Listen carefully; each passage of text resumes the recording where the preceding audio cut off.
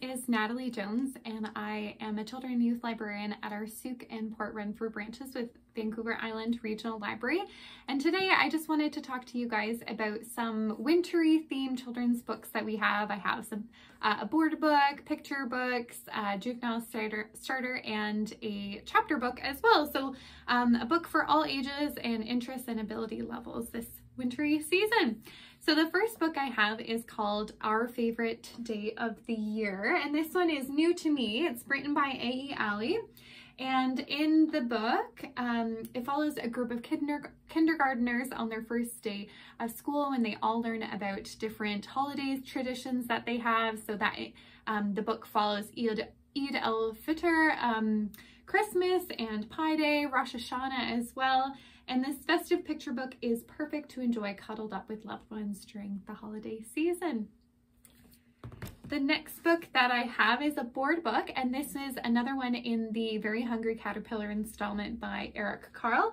And this one is Snowy Hide and Seek, a finger trail lift the flap book. So it's really nice for babies. They're able to um, play with the different components. They can lift different flaps, move their fingers along, and it's really nice um, because it's touch and feel.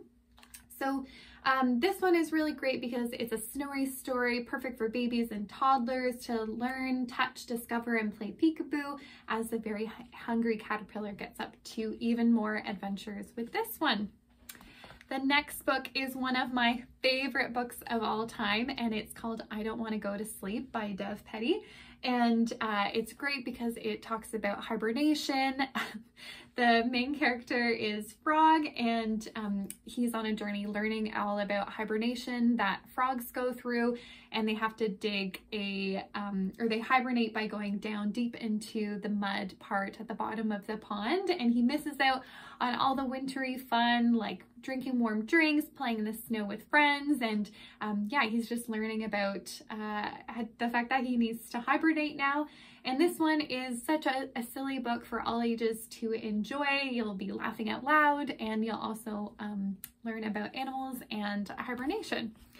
The next one is a juvenile starter and it's part of the Biscuit the Dog series and this one is Biscuit's Snowy Day Race and it's by Alyssa Satin Cap uh. And um, so Frog isn't alone in being the only one to enjoy the snow and wintry fun. In this one, Biscuit the dog is desperate to take part in a sledding race during a snow day, during a snow day. And this is perfect um, for early readers because it's a juvenile starter. So there's text on the page, but there's also pictures so people can follow along easily. Yeah, that one's pretty fun. And then the last one is great. It is uh, part of the Diary of a Wimpy Kid series. And um, this one is called The Meltdown. It's pretty new and it is by Jeff Kinney.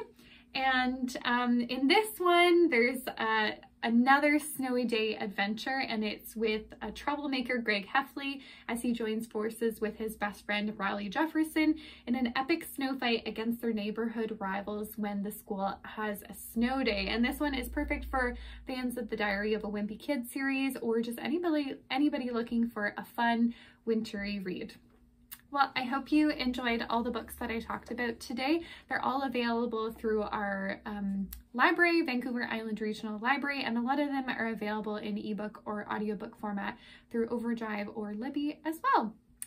Have a wonderful day, and I hope you enjoy some of our wintry or festive books.